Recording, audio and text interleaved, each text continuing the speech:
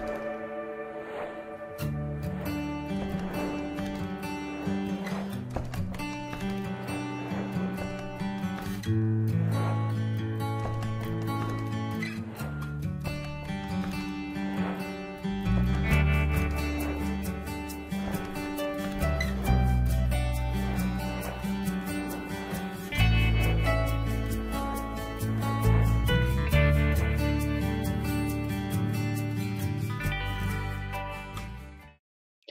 Hola amigos, bienvenidos de nuevo a Vida y Consciencia Animal. En este cuarto videoprograma quiero presentaros a Laura Trillo. Seguramente los amantes de los gatos la conoceréis.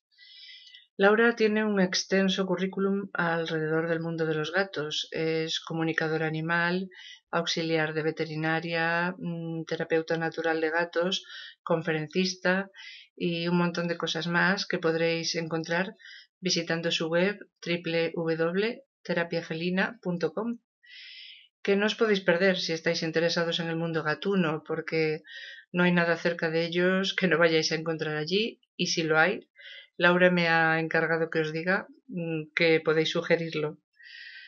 En el programa de hoy vamos a hablar mm, de esos tópicos, creencias que hay acerca de los gatos y a ver qué nos cuenta Laura, Laura Trillo mm, sobre el tema. Vamos a ello.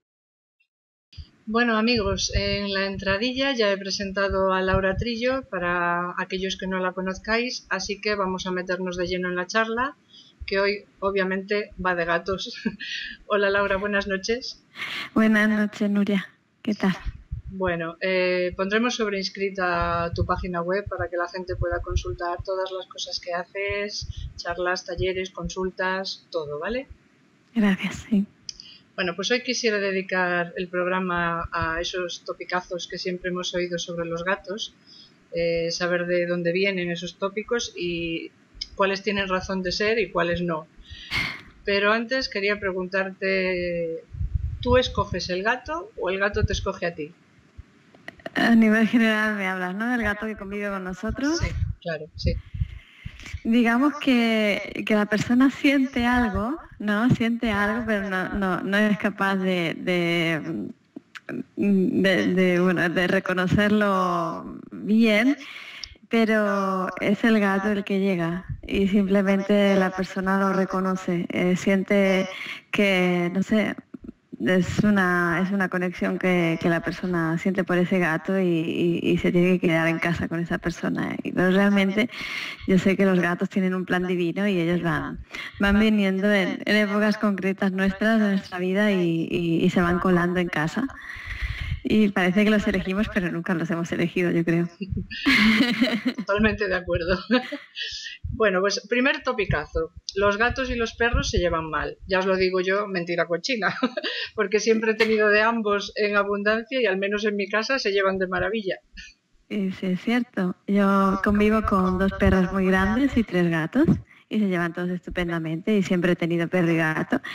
Y mis clientes, muchísimos tienen perros y gatos, o sea que no, para nada. Realmente te diré que es mi pan de cada día en mis consultas son las malas relaciones entre gatos, no entre gatos y perros, en absoluto. Entre gatos es más complicado a veces que, que no entre especies. Estamos de acuerdo también. Bueno, a la hora de adoptar, eh, siempre te dicen que la hembra es más dócil y cariñosa y que el macho es más arisco e independiente. Yo creo que eso tiene que ver con la evolución de cada animal, como cada animal sea. Pero bueno, tú desmontame el tópico. ¿De dónde sale eso? No lo sé, pero siempre tú vas a cualquier sitio y te dicen, no, no, bueno, si quieres una, si quieres alguien dócil y cariñoso, una hembra, porque el macho es más agresivo, es más tal. Es una tontería, pero bueno. Es cierto. Tú que eres una experta, cuéntame. Pues mi experiencia me dice, insisto y siempre lo digo porque es que es así, que cada gato es único, ni macho ni hembra, ni castrado ni sin castrar, ni, más mayor ni más joven.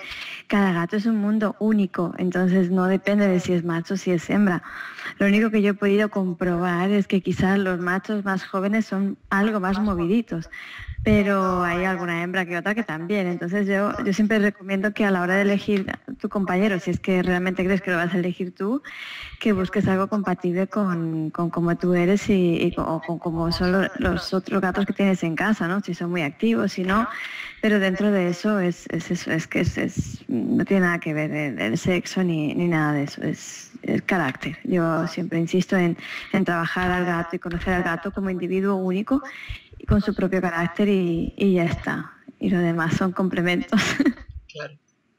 Bueno, el tópico de los tópicos. Los gatos tienen siete vidas. ¿De dónde viene este dicho? ¿Sabes de dónde sale?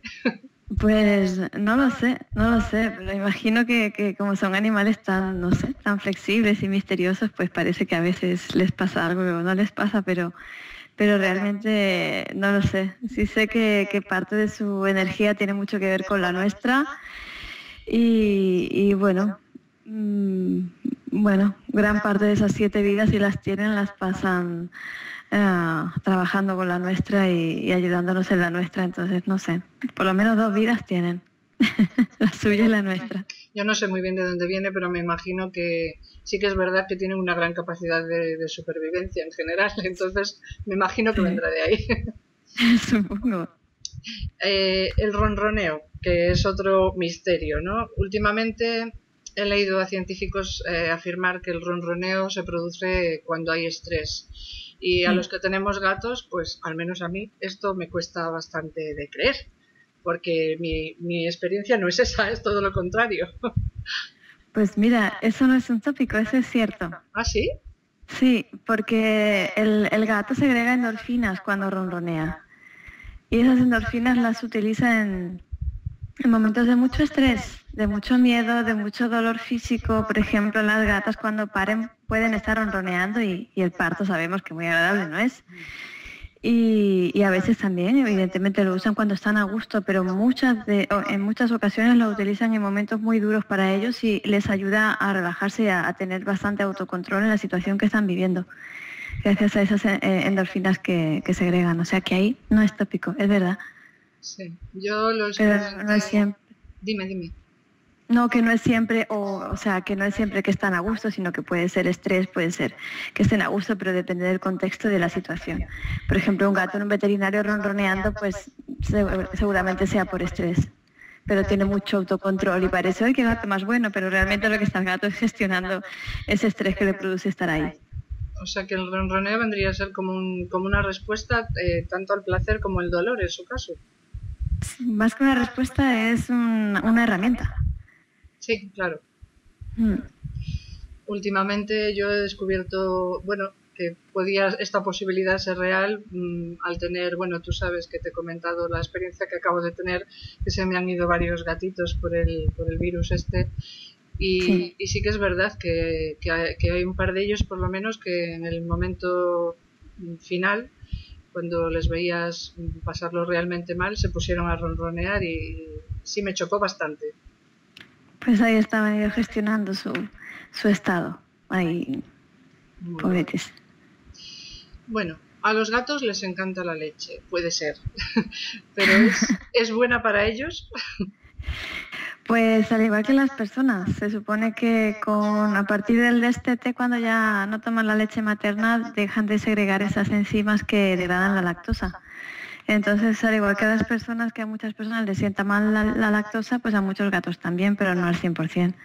Entonces tampoco, ¿sabes? No, es, no la necesitan, nosotros tampoco, pero les gusta mucho y la siguen tomando a veces, ¿no? Depende de, con qué persona den. Les gusta el queso, les gusta todos los lácteos, ah, no a todos, pero a muchos sí.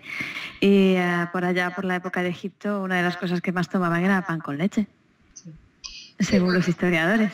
Claro, sí, no, que les gusta, obviamente, pero yo me refería más a, si les hacía bien, eh, porque, bueno, sabemos... Les puede dar, claro, les puede dar diarrea, les puede dar incluso lo contrario, estreñimiento, pero no tiene, no, tiene por qué sentarle mal a todos, pero sí es verdad que esas enzimas ya no están cuando destetan.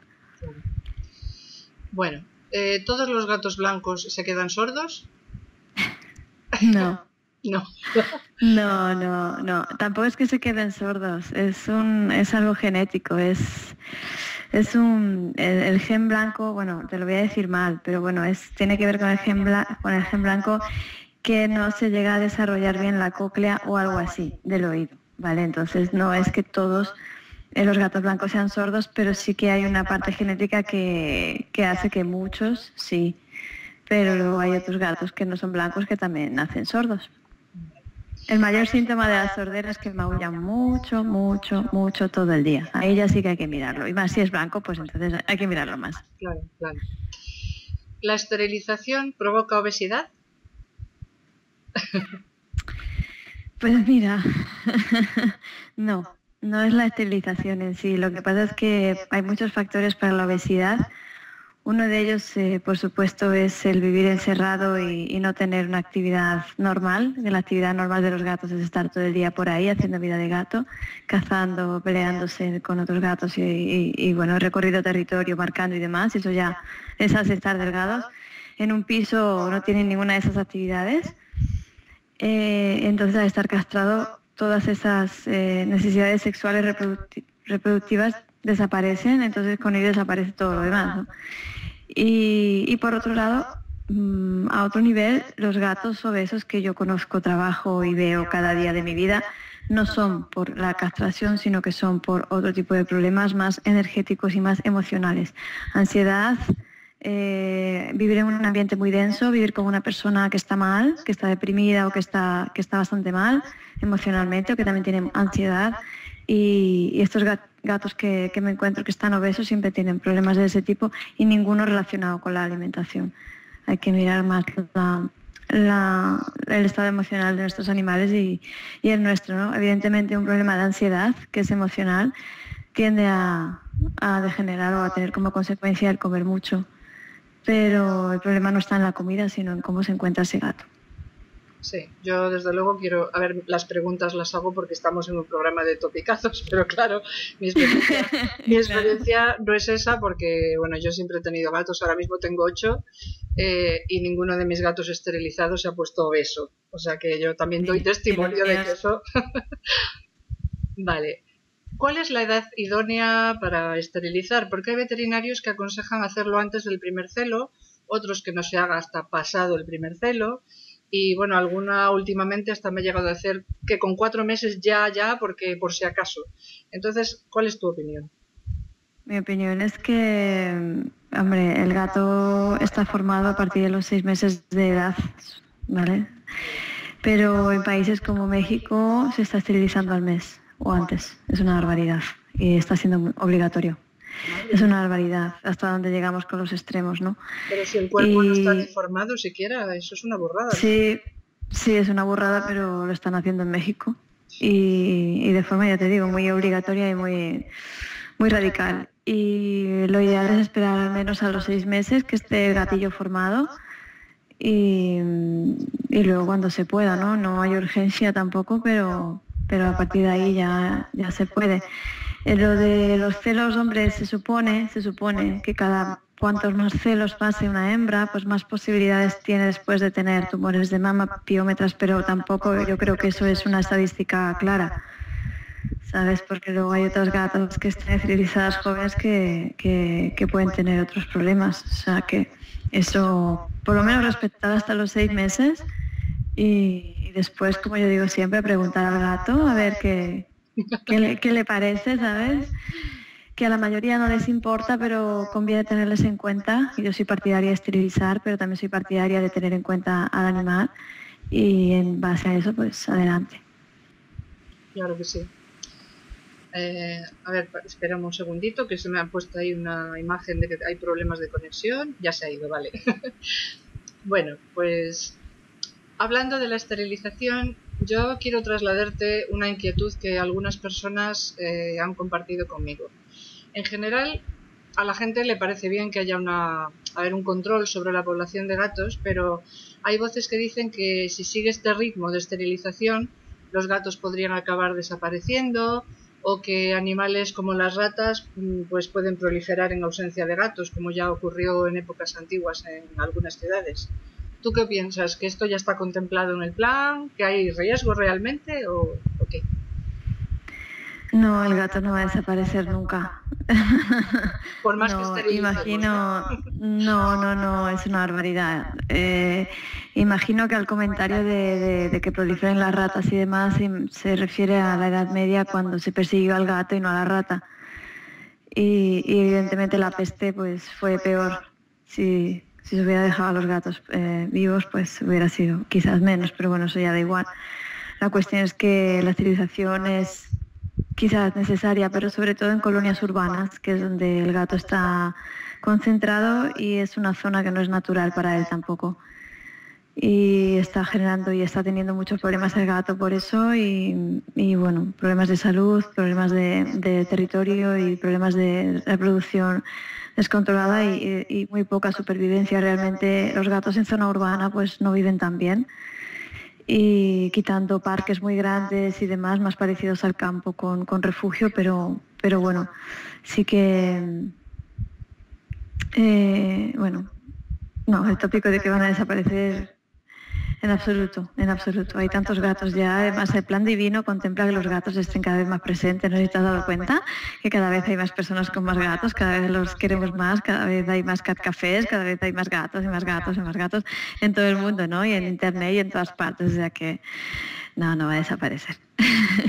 Ahora que dices que cada vez hay más gatos y el plan divino lo contempla, voy a aprovechar para, para meter ahí una, una cuña eh, y decir a la gente que cada vez hay más conciencia animal. Es verdad que hay mucho maltrato, que hay burradas muy grandes, que los dos extremos están en el punto álgido, pero que lo que yo observo es que cada vez hay más, a pesar de todo lo que existe negativo, cada vez hay más conciencia animal y que la gente difunda, firme, hable de por saco, hablando mal y pronto, para que cada vez haya más conciencia animal y que no se desanimen. Que esto lo hablamos en una conversación, en una entrevista de otro programa con, con Olga Porqueras, de que la gente no se anima a firmar porque se decepciona y dice, no, es que esto no sirve para nada, pero, pero sí sirve. Yo, yo lo que observo es que cada vez la gente, poquito a poco, pero va tomando más conciencia y conciencia, las dos cosas.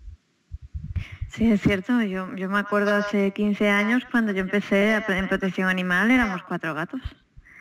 Y Internet acaba de llegar, o sea, los socios de la protectora eran los del pueblo, los cercanos, amigos y familiares, y los voluntarios éramos los que habíamos llamado por teléfono o, o escrito un email, ¿no? A ver qué era eso. Y, y, yo he visto esos 15 años cómo ha crecido y de repente ahora todo el mundo conoce una protectora, todo el mundo ha sido acogido, todo el mundo ha encontrado animal y lo ha colocado. O sea, eso hace 15 años yo, yo no recuerdo que eso pasara.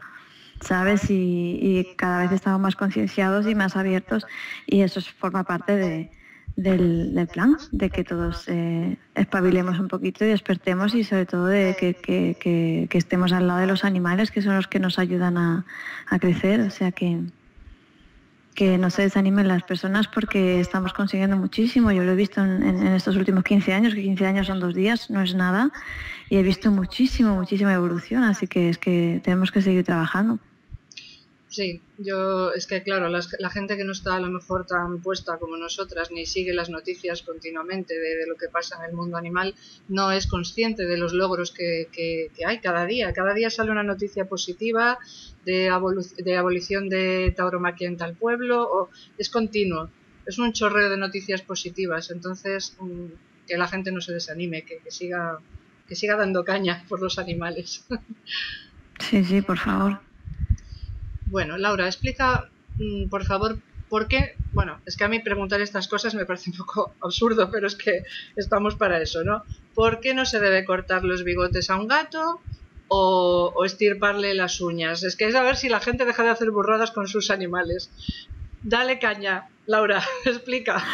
¿Qué por qué? ¿Qué son los bigotes para un gato? No, la, la pregunta es por qué sí. Claro. O sea, no lo entiendo. O sea, cortar los, los bigotes, ¿por qué? Si los bigotes...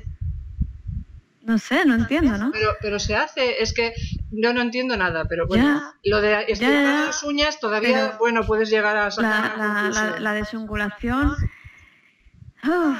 a ver, es ilegal en muchos sitios y se hace por porque a las personas les molestan las uñas del gato, pero es que el gato tiene uñas, entonces no sé qué quieres en casa.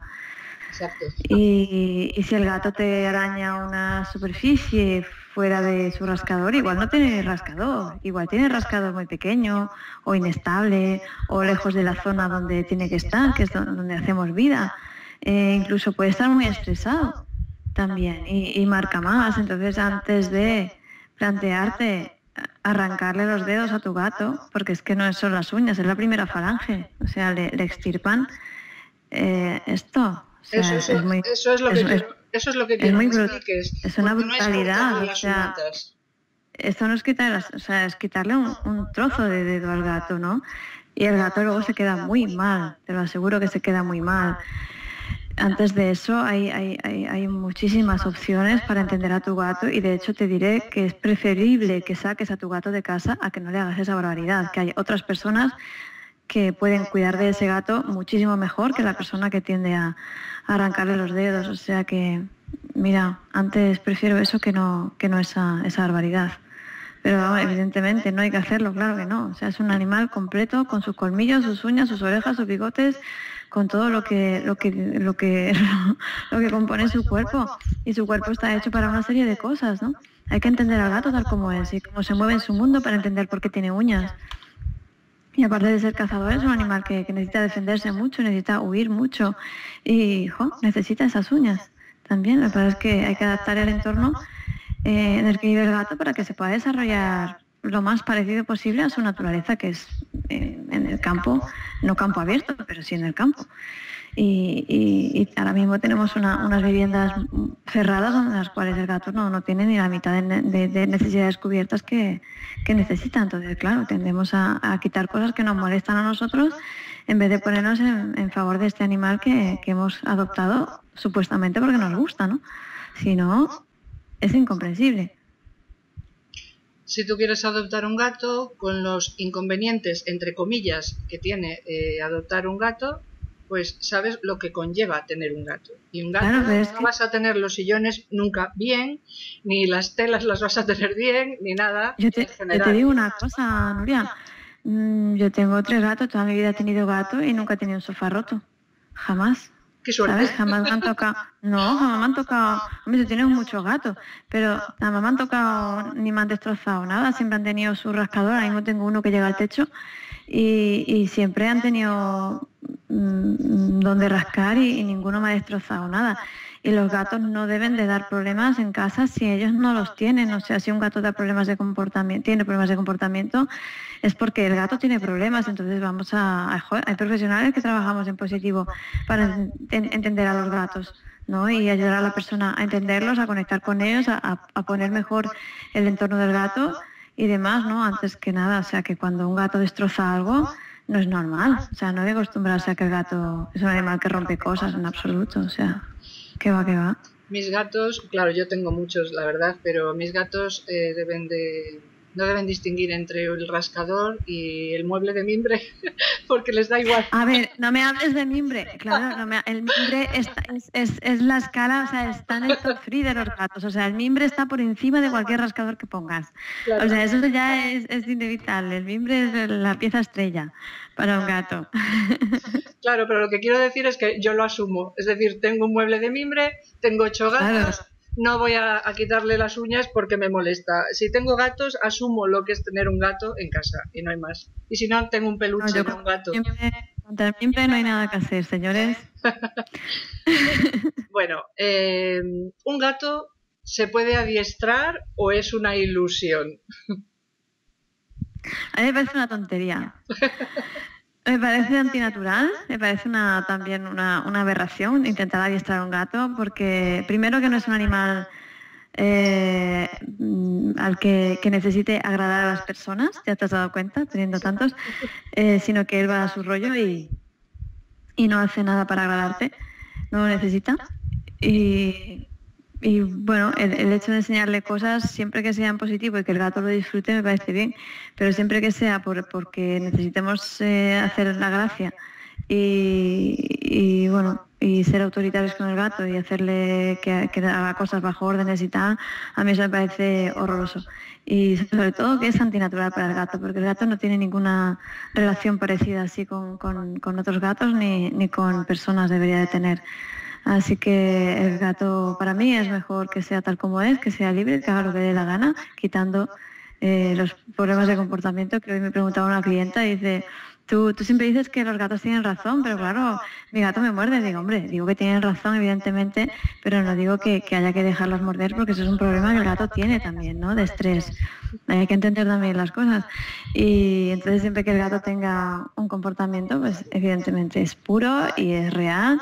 Y si es algo que, el gato está mm, teniendo problemas de estrés, pues se trabaja. Pero el adiestramiento en sí me parece absurdo en un animal como, como el gato. También a mí no me gusta manipular a los animales, ni a nadie, por, por hacer la gracia. O sea que a mí, yo, yo hice un poco de adiestración, oh, perdón, adiestramiento canino, pero no me gustó nada hacer eso. Entonces yo por lo menos mm, prefiero trabajar mucho, mucho la relación y el vínculo con la persona que se entienda el gato y la persona, porque ya solo ahí hay un trabajo tremendo. ¿eh? Hoy en día, como para ponerme yo ahora a enseñar a la gente a, darle órdenes al pobre gato, ¿sabes? Si ni siquiera le entienden. Estamos todavía muy lejos de eso, ¿eh? Pero que no es un animal para eso. Sí. Una de tus frases estrella, de hecho, es los gatos siempre tienen razón. A mí me encanta cuando te oigo decir eso. Sí, sí, pero es, cierto, ¿no? Nunca mientes, ¿no? No, es verdad. Siempre, hay algo ahí. Pero claro, una, una, clienta se lo tomó al pie de la letra y dice, claro, pero entonces le tengo que dejar que me muerda. Digo, no, hombre, no, eso es un problema, no es que, evidentemente, lo que digo que tiene razón es el motivo por el que te muerde. Ahí sí, pero no hay, no hay que dejarlo, hay, hay que ayudarle al gato a comunicarse de una forma más equilibrada, pobre. Pero nunca, nunca a través de castigos. ¿Perdona? Que nunca a través de castigos. Jamás, pero ni a los gatos ni a nadie en el mundo, a ningún ser vivo ni nadie. Es que la gente, claro, no se cree que puede, bueno, es lo que hablábamos antes, un gato no se puede adiestrar, entonces el hacerle a un gato, le voy a dar una lección, le voy a encerrar aquí, le voy a dar una zurra ya, le voy a, es que esto, bueno, a ver, el perro es diferente, tiene otro tipo de reacciones, pero esto con un gato es que consigues todo lo contrario de lo que, de lo que pretendes. Que sí, bueno, y, ni al perro. O sea, es que tratar a un animal con autoridad a mí me parece una falta de respeto también. Y cuando tratas a un animal con autoridad y castigo, consigues, como tú dices, lo contrario, consigues que el gato muestre un comportamiento de más pues igual que el de la persona, una conducta un poco más ah, intolerante y agresiva. Entonces, no te das cuenta de que no por ahí no es. Con esa actitud no no no es. Además que la relación con el gato se quiebra y se puede hasta romper o sea que no hay otras formas de, de ayudar a un gato y a una persona. El gato yo es que creo que hay tanta gente que dice que no le gustan los gatos, porque en el fondo eh, lo que sienten es que son demasiado parecidos a nosotros, en ese sentido. Sí, yo creo que es por eso. Es que claro, como sabes que el gato no va a admitir eh, que quieras imponerte, que castigues, que todas estas cosas, lo mismo que tú no lo, no lo permites. Y claro, mucha gente pues prefiere un animalito tipo el perro que, que acepta mucho más eh, la autoridad, aunque no se deba usar de las maneras que la gente la usa, pero la acepta de, otro, de otra forma. El gato es como nosotros. A mí déjame de, de autoridades, ¿no?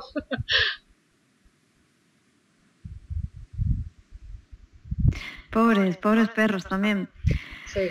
Pero no, ya te digo, no, no, es, no es un animal tan social como el perro. El perro sí que le gusta mucho agradar a las personas y, y con eso, pues mira, los pobres. Pero el gato, el gato no. El gato quiere tener la relación que él, que, que, que, ¿cómo te diría? Una relación contigo más de igualdad. Exacto. Y no, no, y de libertad, ¿sabes? Y yo siempre digo, y además yo soy muy parecida a los gatos, a mí cuanto, cuanta más cuerda me das, más a, tu lado estoy.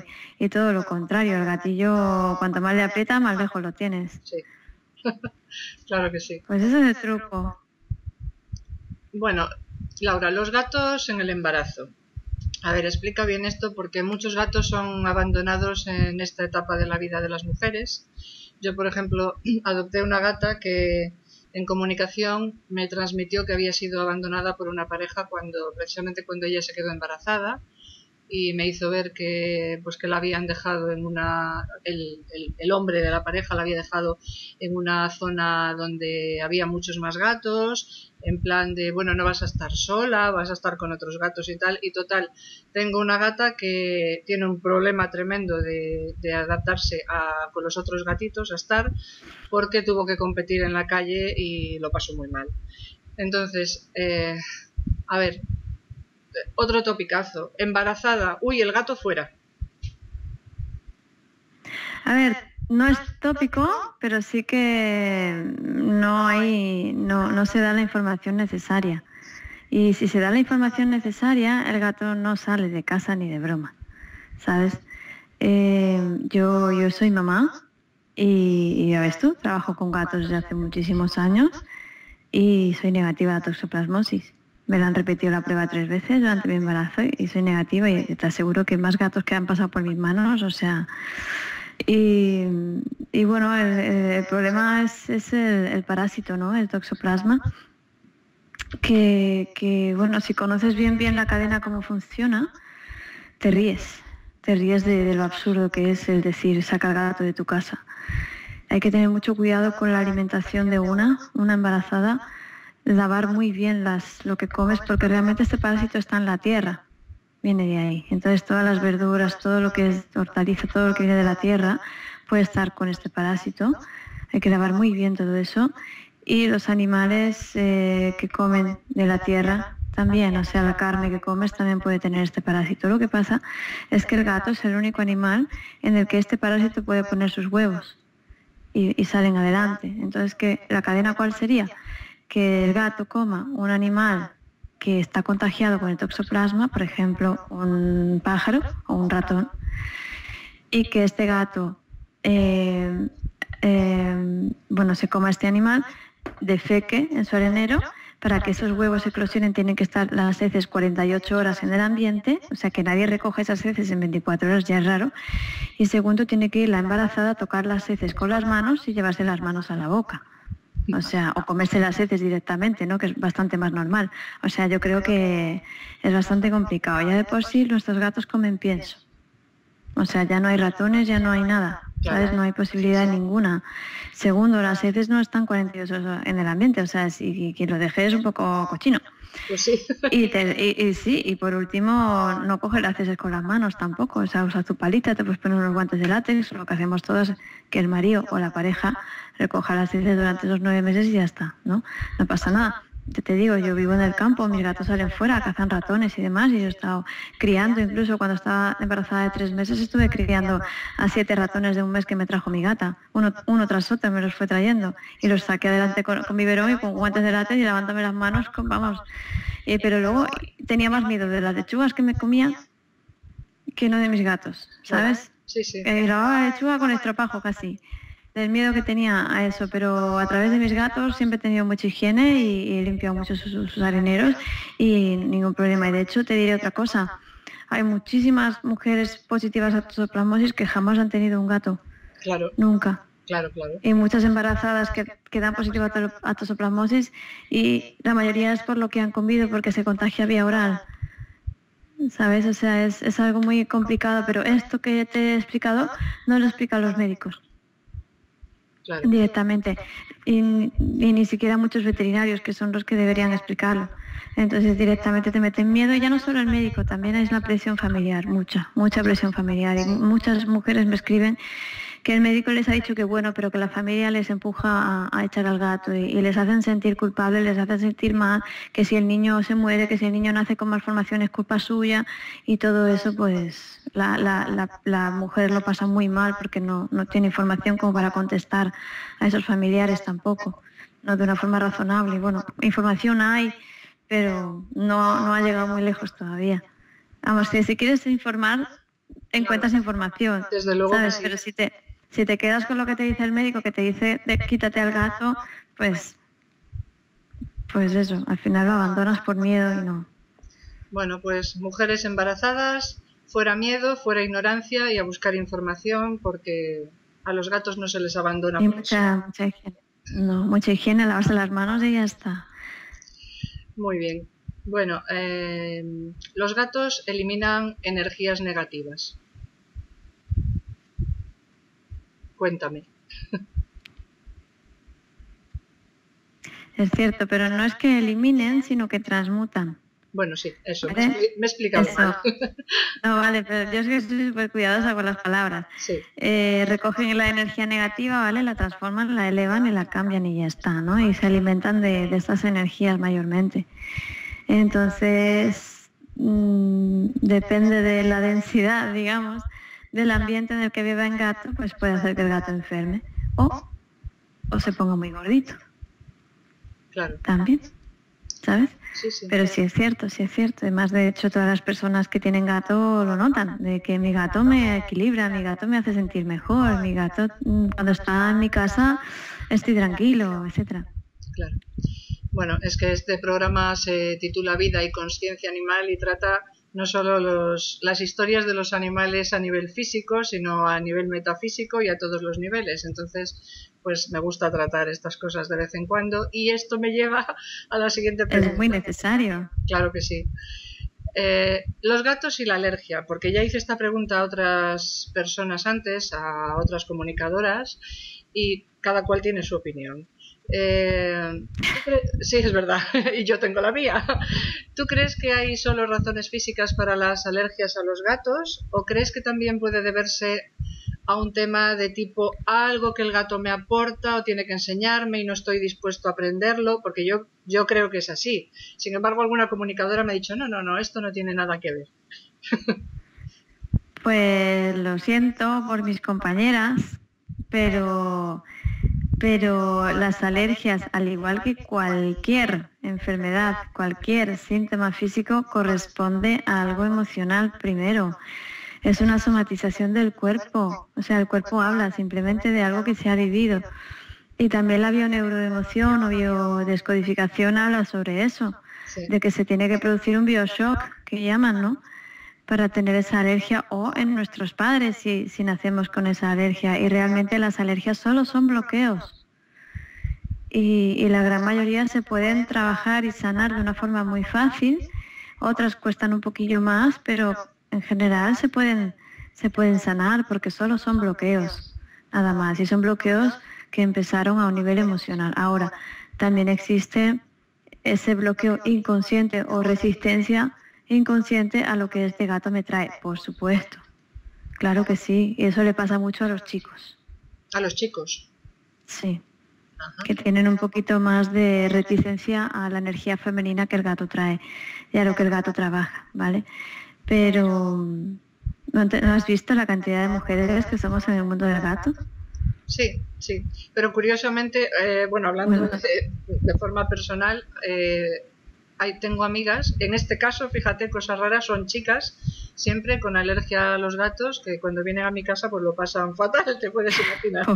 Todo el rato con el moquillo y, siempre les digo lo mismo, si no se trata de que te pongas sprays y esto, se trata de que mires a ver por qué y para qué. Porque te, totalmente de acuerdo con eso. Yo siempre les digo a las personas, tengáis lo que tengáis, trabajarlo o sea, no, no os resignéis a tener una enfermedad o un síntoma, simplemente si lo tenéis es porque lo podéis sanar.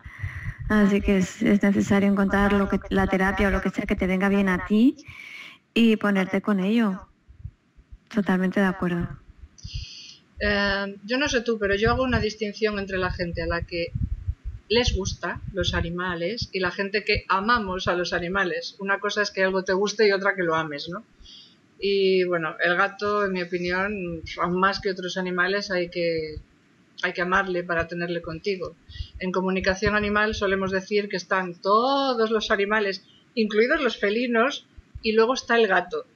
Porque yo personalmente, para comunicar con los gatos, eh, tengo más dificultades que con cualquier otro animal, en general. Luego hay algunos que me lo ponen fácil, pero no es lo, no es lo normal. ¿Qué opinas?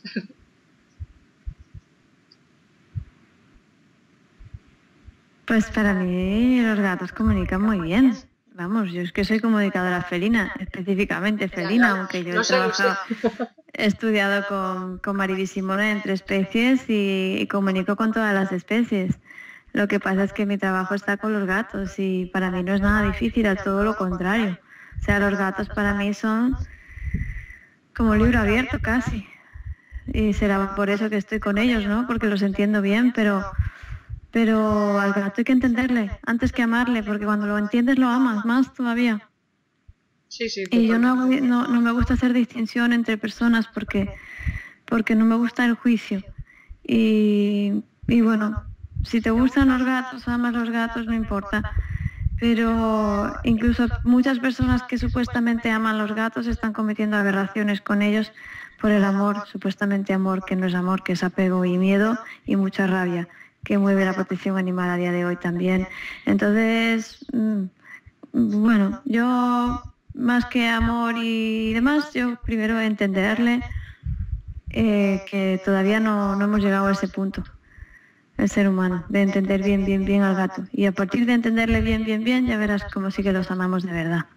Eso sí intentar comunicar con él. No necesitas tener eh, un diploma de comunicador porque realmente si quieres comunicar con tu animal puedes. Claro que puedes, yo no tengo ningún diploma, ¿eh? no, a ver, la formación es importante sobre todo porque por lo menos yo hablo de la, la, la mía, la que yo he realizado con mi compañera Maribí, porque realmente esa formación sin ella no entiendes nada, o sea, la formación que ella realiza en las 40 especies es, eh, para, para ayudarte a entender a ti cómo funciona, primero, cómo funciona la comunicación energética, la comunicación animal, qué es la energía. Eh, y sobre todo para mí fue importante aprender mucho sobre la ética y las leyes naturales y universales, porque por ahí es como entiendes que se mueve todo y respetas mucho más eh, la comunicación con el animal y no, no, no sé, para mí la formación ha sido o está siendo de siete años por ahora y no quiero que acabe nunca porque es una transformación personal increíble y es una limpieza de corazón y es un, cambio tremendo que recomiendo a todo el mundo. O sea que todo el mundo tiene esa capacidad, digamos, ¿no? Pero no todo el mundo sabe usarla ni la entiende. Y la formación está bien para eso. Y unas personas tienen mayor sensibilidad que otras, pero igual pueden cometer muchos errores a la hora de comunicar con un animal, sobre todo los animales enfermos o perdidos, que hay que tener un poco más de cuidado, o unos animales que tienen una serie de problemas más, más bien energéticos que requieren a un comunicador más, más preparado que no cualquier persona que se ponga a comunicar con ellos. Porque te lo cuento porque, porque he vivido de todo ya en este tema y, a veces más que ayudar la hemos liado. en ciertos casos, ¿no? Sí, claro, porque la formación te da herramientas para cómo hacerlo y por mucho que tengas la capacidad, a veces el ego y tus cargas sobre el animal eh, le hacen más daño. Y tu pena, y tu rabia, y tu victimización del animal, y muchas cosas, y muchas cosas. Entonces, bueno, algo de, formación, sobre todo porque es, es bonita también es que es muy vivencial, entonces es que merece la pena, ¿sabes? Hacerlo. Claro que sí. Y compartir con otras personas sus experiencias que siempre nos aportamos. Mucho, mucho. Bueno, eh, cuando el gato orina o defeca fuera del arenero supone un problema para las personas y sobre todo porque en general el gato es un animal súper pulcro. Eh, entonces, a ver, qué motivos puede tener para hacer esto y cómo ayudarle, porque obviamente algo le pasa. Quiero que la gente entienda eso, que un gato no es cochino porque sí. No, siempre le pasa algo. Lo que pasa es que para decirte que es imposible, porque cada gato le pasa una cosa distinta y tiene su propia manera de manifestarlo. Pero evidentemente orinar fuera y cagar fuera son dos cosas que al gato no le gusta hacer para nada y que cuando llega a ese extremo es porque lo está pasando mal él. O sea, no, no tiene un problema la persona con su gato, el problema lo tiene el gato, insisto. Y es su forma de manifestarlo en el entorno en el que vive, que es interior. Y es la única manera que tiene el gato de que la persona vea que algo pasa. Lo que pasa es que, claro, el siguiente paso que tendría que dar la persona sería de dejar de perder el tiempo regañando y empezar a buscar a una persona que entienda a su gato si él no lo entiende, que para eso estamos, y que trabaje en positivo y no con castigos, porque las personas cuando tienen este tipo de problemas sus gatos de orinar o de fecar fuera, realmente lo que buscan es algo que los elimine inmediatamente, el tema de orinar, ¿no? porque es muy molesto, la verdad es que lo es. Pero eso implica el tener que castigar al gato, regañar o, usar terapias aversivas. Y cuando tú, un amigo tuyo tiene un problema, no creo que le eches agua en la cara, ni le grites, ni le pegues una patada y lo eches de tu casa. O sea, yo creo que cuando un amigo tiene un problema, lo primero que haces es qué te pasa, ¿no? Preguntarle qué te pasa. Pues con el gato igual, o sea, cuando te orina en la cama, pues él tiene un problema no nos sentimos nosotros víctimas de nuestros gatos, o sea, somos así de mártires, ¿sabes? Mi gato se mea en mi cama, mirándome a mí, ¿no? Y es como me está retando, eh, me está provocando, o yo qué sé, ¿sabes? Me está castigando, me han llegado a decir, ¿no? Pero oye, que lo único que te está diciendo es, hey, me encuentro fatal, por favor, ayúdame. Y a lo mejor tiene una infección de orina brutal. Y tú ahí regañándole, castigándole, y es horroroso. Pero es más de lo mismo de lo que te digo, es que no se entiende al gato. Y es por esto. Ese tipo de cosas demuestran que no se le entiende. Y a día de hoy, todavía tantas personas no saben que cuando el gato elimina fuera es porque tiene un problema. ¿Sabes? O sea que tengo mucho trabajo. Sí, escuché una charla tuya, bueno, hace un tiempo. Eh, no sé si me oyes. Te decía que escuché una charla tuya hace un tiempo eh, de las burradas que hace la gente para precisamente cuando orinan fuera de los areneros, las cosas que le llegan a hacer para... Es que tan absurdas, o sea, que no tienen ni pies ni cabeza, pero ¿qué, vas a conseguir con eso? Pero, pero eso te lo encuentras en foros, te lo encuentras en foros de internet. Sí, sí, consejos. Incluso, incluso peor todavía, veterinarios te lo recomiendan. Qué horror, qué horror. Y lo, lo digo sabiéndolo porque muchos clientes me vienen rebotados de veterinarios con este tipo de consejos horrorosos. Que no todos los veterinarios, pero oye, hay alguno que otro que, que en fin. Sí. Que tiene el título, que es lo que te decía antes, pero no la Bueno, a lo mejor sabe muy bien de su profesión de veterinario, pero de comportamiento cero. Pues eso, lo que te decía antes, que tienen el título, pero no la conciencia animal. Mm. Bueno, Laura, para acabar, que te veo cara de cansadita. No, hombre, estoy a gusto, estoy Bueno, si te parece, nada, dar un consejo final a la gente que no adopte un gato si no quiere un gato, que no adoptes un gato esperando que se comporte como otra cosa, porque los gatos no se adiestran y no entienden de autoridad. No sé, lo que tú quieras. Te dejo el final. Consejo. Consejo, yo siempre digo que antes de adoptar un gato sientas si de verdad necesitas ese compañero en tu vida o no, o si es porque si quieres adoptar un gato porque te sientes, eh, bueno, no sé, si sientes eh, culpable de que tienes ya un gato y quieres y pasas mucho tiempo fuera y quieres otro y luego realmente no te apetece nada adoptar un gato, no lo hagas. O sea, el adoptar un gato tiene que ser porque lo sientes en tu corazón y porque sientes que ese gato va a llegar a tu vida y lo vas a compartir con él. Nunca tengas un gato a la fuerza, nunca tengas a un gato porque te lo hayan regalado y tú no lo quieras, eh, a no ser que realmente veas que pasa algo mágico, ¿no? Como suele pasar y ese gato entra en tu vida y es maravilloso, como suele pasar, es lo normal, ¿sabes? Es raro cuando, cuando el gato llega a casa y no es querido, ¿no? Es muy raro, pero, pero sí que dentro de eso, cuando adoptas un gatito, infórmate bien de lo que te llevas a casa, porque es un animal muy diferente al perro, es un animal que, que todavía no se conoce bien y siento si barro para casa, pero en, mi web hay un montón de consejos, hay hasta un manual para adoptantes de gato básico, que es gratuito, esa información hay. Eh, así que cuando, cuando adoptas un gatito, pues hombre, infórmate sobre su especie, sobre su, su carácter, sus necesidades mínimas y las no tan mínimas también, para que le puedas cubrir todo lo que puedas cubrirle y, déjate asesorar y, habla mucho sobre él porque ya verás que cada vez vas a, vas a darte cuenta de que más personas tienen gato y, bueno, podemos compartir cada vez con más personas eh, esto, ¿no? Y, aprendemos muchos unos de otros también. Así que ya te digo, si quieres un gatito, siéntelo, siéntelo bien y, y deja que llegue. Además es que no tienes ni que elegirlo, sino es que llega a tu vida. Ahora, las protectoras están a rebosar, como ya sabes, y las perreras también. Entonces, mira, si no lo tienes claro, vete allí, sin intención ninguna, vete allí y, déjate asesorar por las personas que hay allí, déjate querer por los gatos que hay allí. Y nada, magia, que sea eso. Y así normalmente no hay problemas nunca. Cuando no está forzado es cuando más bonito sale todo. Y es verdad. Totalmente de acuerdo. y me parece muy bien que barras para casa porque para eso te tenemos en el programa. no, pero es que tampoco digo tanta información. Hombre, en mi web hay mucha, paso mucho tiempo escribiendo. Claro. y es todo gratuito, ahí está todo, hay muchas cosas. Entonces, para empezar, cuando, para empezar y, más de eso, ¿no? Teniendo un gato, pues ahí tienes mucha información ya para no para no liarla, o sea, para empezar bien. O sea que ya como mínimo hay, hay, hay. Claro, claro que sí. Busquen ustedes terapia felina, aquí lo vamos a poner sobre escrito para que podáis ir a la página web de Laura y todo lo que se os ocurra sobre gatos lo vais a encontrar ahí. bueno, Laura, gracias. y lo que no decírmelo y lo pongo.